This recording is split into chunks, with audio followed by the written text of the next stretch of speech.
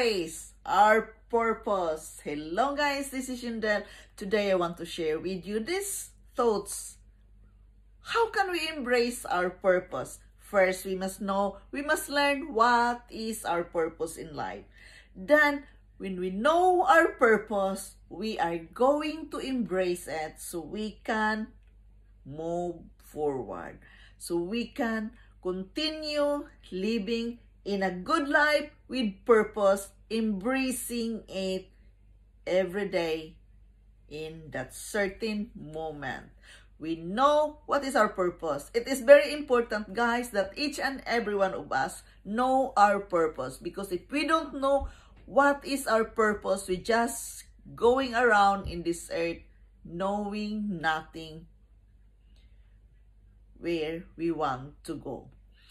Guys, it is about life greatest joy is waking up in the morning with clear sense of why, why you are here, why things matters for you. We must learn to live day by day embracing our purpose that there is a reason for that why God planted that purpose in your heart why you want to go with that thing. Guys embracing our purpose again it's always about loving ourselves knowing ourselves have a confidence within yourself that you know what is your purpose and you are doing the best of it. It is what it is. Life is amazing, but we are always the one working our life for to be amazing.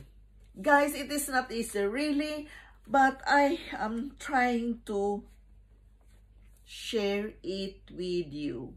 We must know that embracing our purpose, which is just in front or within us. The purpose is within us. It's there for a reason and we must be aware, mindful about it when we are embracing our purpose. How? Just to be with yourself, knowing your reason, why you have to fulfill your purpose, why you have to do the thing you want to do, why God planted this purpose in your heart, how to embrace it, it is about accepting, knowing it, and have the feeling of fulfilling your purpose. When you fulfill your purpose, you set your feelings into it. Then it helps you to understand the whole process. When we embrace our purpose in life, guys, it really helps us to have a lighter way, to go easier forward in front of us in our life. Yes, how to embrace it. Again, it's all about mindset, mindfulness, that this is your life. You have a purpose to fulfill. So embrace it. Enjoy the journey. As we said, enjoy the journey. Each and every one of us has a journey in life and we have a story to tell. Everybody has a story to tell. Everybody has a journey to fulfill. How to embrace your purpose is about being mindful what your life at the moment. Because remember, we have only one life to take care of.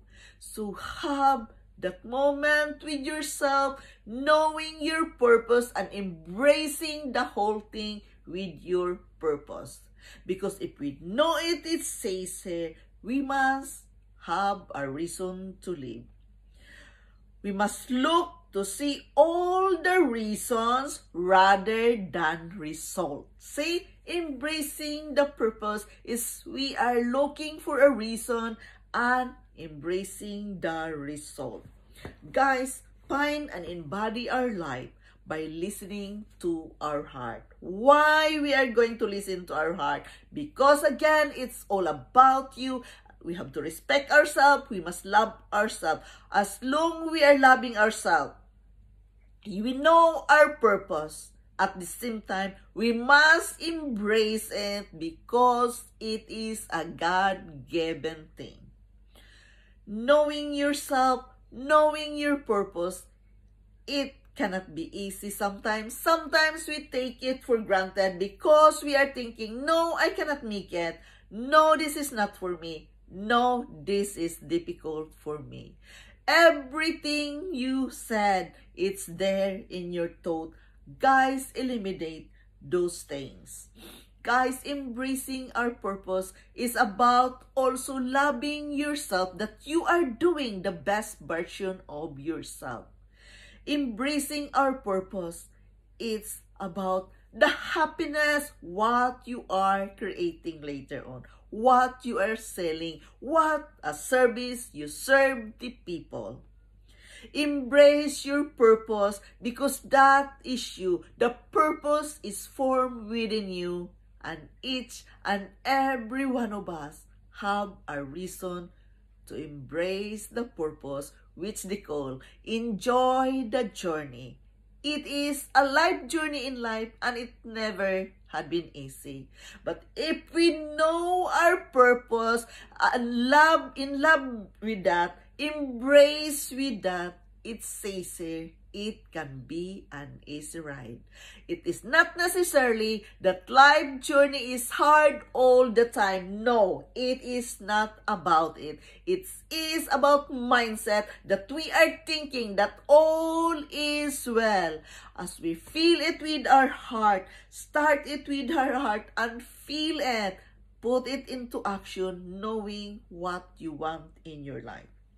We must know that embracing a purpose which is just in front of you, that is being mindful of your life at the moment. Why you are mindful? Because you know it. You feel it. You embrace the purpose which is there in front of you. And it is very important because you acknowledge it.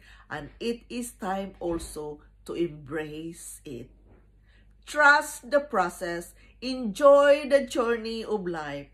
Again, guys, I'm sorry. I am not perfect. I'm just sharing this with you to let you eh, be inspired also. I am trying my best to work with myself with this self-development. I am sharing this with you in hope you can also do the same. To believe in yourself, to enjoy the journey in life.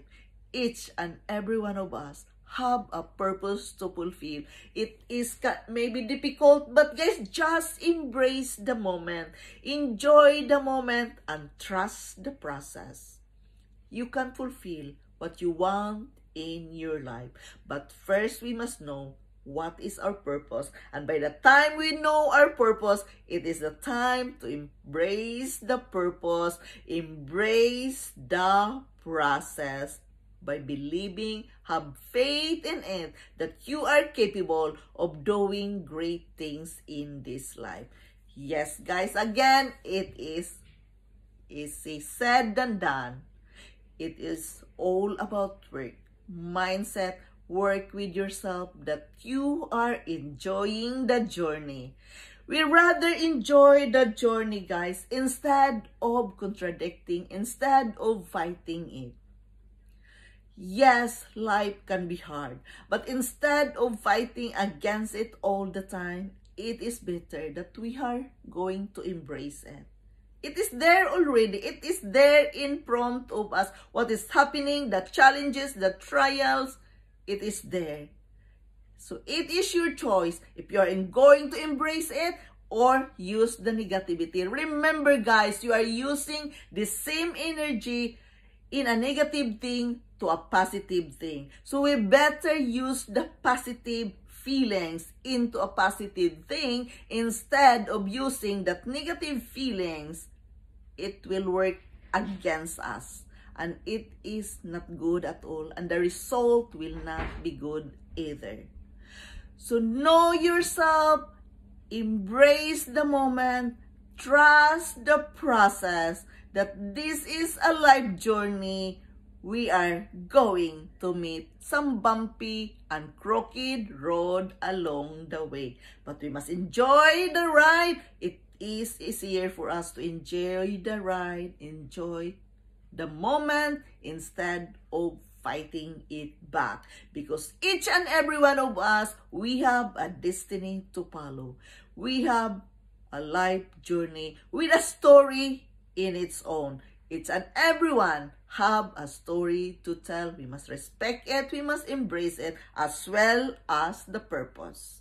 So guys, I hope you understand my message. This is not an easy share, but I am sharing this with you in hope we can work on this together by being mindful, be aware all the time that we have a purpose to fulfill. We rather embrace it in this moment. Again, we must look for the result. We must look and see all the reasons so the result will be good.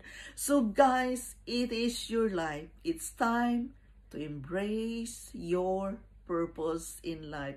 Whatsoever it is, maybe it is difficult, maybe it is hard, but there is a reason and there is a help to call. Start always with your own self, knowing, believing with your own self that you are capable of doing great things in life. I can do this. I believe that I can be a good speaker. So do the same what you are believing, what you are you wishing, do it. I'm working with myself. I am here for a reason, for this training, for my public speaking. I keep on believing I must embrace the moment in this process of training, believing someday, somewhere, I can be a good speaker. I hope I can make it. I keep on dreaming on it. That I thank you that God or the universe, I believe, I have them at the back all the time. So again, guys, we must find and embody our life by listening to our heart because it is there planted by God. Listen and respect it as well as the thoughts and mind.